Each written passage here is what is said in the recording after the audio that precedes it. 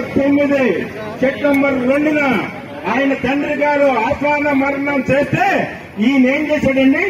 ప్రజలందరూ కూడా శోక సముద్రంలో ఉన్నారు. అలాగే చంద్రబాబు నాయుడు గారు కూడా ఎంతో సానుభూతి తెలిపారు. అయ్యో నా స్నేహితుడు రాజకీయం వేరు స్నేహం వేరు అలాగే చంద్రబాబు నాయుడు గారి మీద నిర్ణయించాడు ఈయన.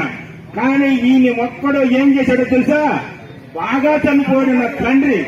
నా తండ్రి పదాన్ని నేను సొంతం చేసుకుంటానని రాజీనామా చేయించాడు. చెల్లి తెలంగాణలో పార్టీ పెట్టుకుంటానికి ప్రారంభమైంది పాపం. ఏం చేస్తుంది ఇక్కడ సైకో ఇలాంటి సైకోని భరించడానికి తెలుగు ప్రజలు లేరు. ముందు ముందు నీకుంది. ఆరు నెలలు ఆరు నెలల్లో నీవు పదవి దిగుతావు. నీకు అప్పుడు చరణ గీతం పాడతారు. చర్లపల్లి జైలు